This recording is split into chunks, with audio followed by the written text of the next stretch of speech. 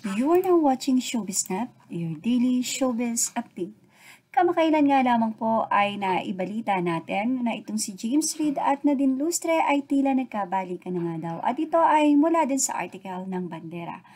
Pero dahil dyan mukhang hindi lang ang mga fans, syempre ang nagkakaroon ng obserbasyon sa dalawa.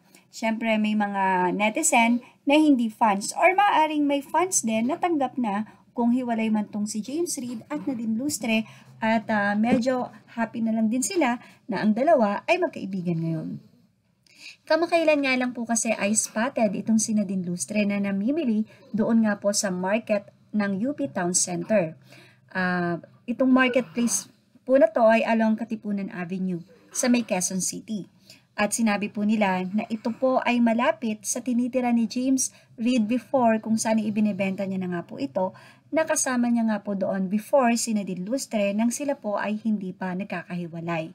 Dito nga po may mga netizen na nag-send uh, ng video sa bandera at doon nga po ay pinabulaanan na itong si Nadine Lustre at James Reid ay maaaring magkasama pa rin doon sa kanilang bahay na kung saan ay ibinibenta na nitong si James Reid. So the fact na binibenta na, ibig sabihin mukhang hindi na nga po doon nakatira ang aktor. Ayon sa update ulit ng uh, bandera, sabi nila follow up ito sa nasulat namin before dito sa bandera tungkol sa tanong ng karamihan kung nagkabalikan na nga ba itong si James Reid at Nadine Lustre.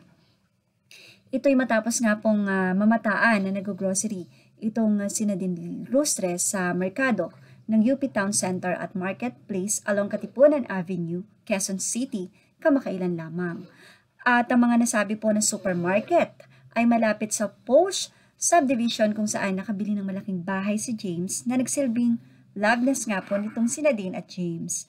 Marami pong netizen ang nag-react sa naisulat nga po na ito ng bandera.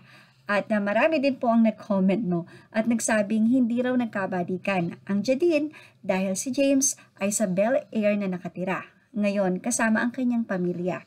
Pinadalhan pa ang bandera ng isang Jadine fan ng video sa Twitter na nagluluto ang kapatid na babae ni James habang naghuhugas naman ng, ng pinggan itong si James. At ang caption ni Sazi Ruby sa video, ayan, nasa Bel Air si James doing the dishes kaya tigilan ang kakaimbento na nagkabalikan na nga po sila.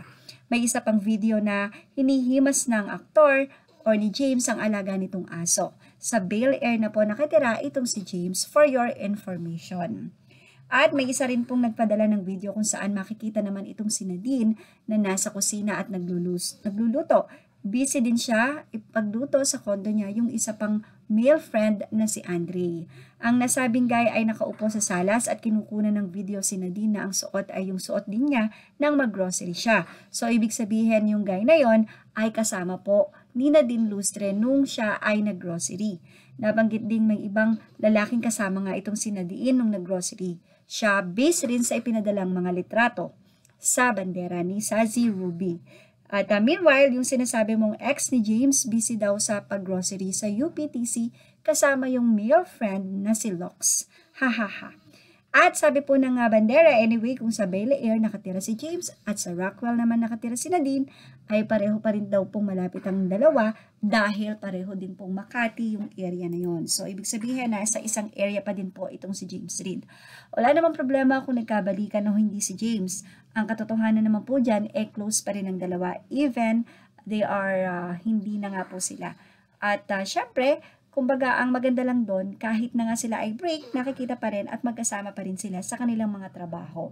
So, ang importante ay nandun pa rin yung paninindigan nila na maayos sila bilang magkaibigan hindi naman po natin na masasabi ang mga susunod na araw. So, yun po ating showbiz snap update. Ano po ang masasabi ng mga Jadine fans dyan?